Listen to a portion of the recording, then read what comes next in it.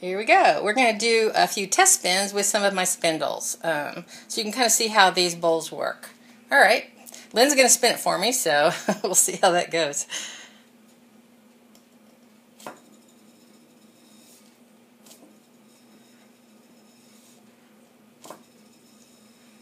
He's being wiggly. Hold your, scoot your hand up a little bit. There you go.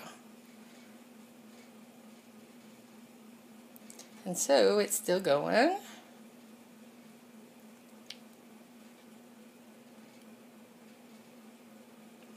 Still going. No more flicking has gone on, just spinning.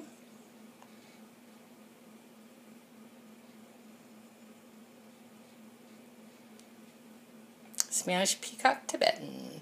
Um, now, um, let's do the, uh, this is a little robin's egg, about my favorite actually. Um, the Mirkwoods are pretty awesome spindles with that tip on there. And it's spinning now, which I'm not sure you can tell. This one we tried last night just for the heck of it, and that thing goes forever.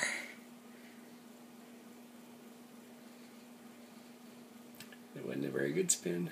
and Lynn's not really a spinner, so his flicking Ooh, is there. Fast. He's doing it. Ooh. He just did another one. And you can see Man. that that, I think they call it the infinity tip, is a really nice combination with this. Okay. And as y'all know, I'm a Glendale's girl, so you'll see those in a second. That's still going. I, I we should probably time it, but we're not because we're not being scientific. Still going from that first look. I think if we were to compare them, that might be the longest, don't you think? Definitely. Yeah. Okay. And that blue, that the little ones, I'm not putting a divot in. I like it to be just um, that bowl with no divot in the center, and that really, those uh, Mirkwoods seem to like that quite a bit. Okay. Now, divot in this one, different shape, Glendale. This is going to rub on my hands. He's uh, having trouble with my uh, yarn on there. But it's going really fast right now. I shouldn't whip this around.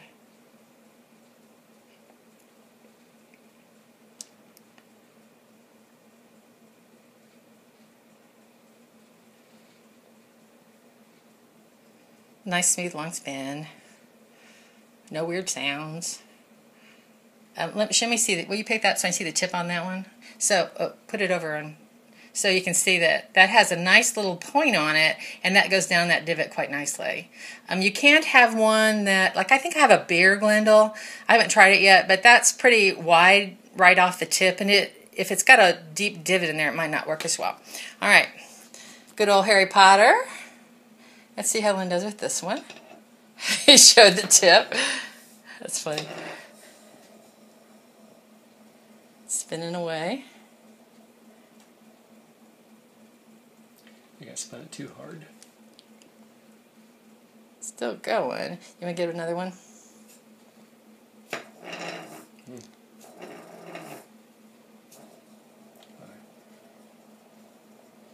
That's a good one. Yeah, there it goes. That one, because of the tip and the combination of the bowls, make a slight bit of noise. In my world, I'm kind of noise sensitive. So just like all my bowls, I would check around to see which spindle likes which one. Um, also, he's spinning in the one that is is one of my good intentions. I don't think you can see it, but let's give it a shot. No, it's too weird here. I point out H O P E. Yep, this is the Hope one. Sorry there. No, still not liking it. Let's focus on the table. Sorry there.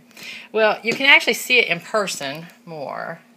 That there's just kind of a dreamlike world type uh, punched in there, stamped in there, and that says hope. The other one is peace, as a matter of fact, of the two that are up this uh, uh, update. All right, I think that'll give you at least a feel for this.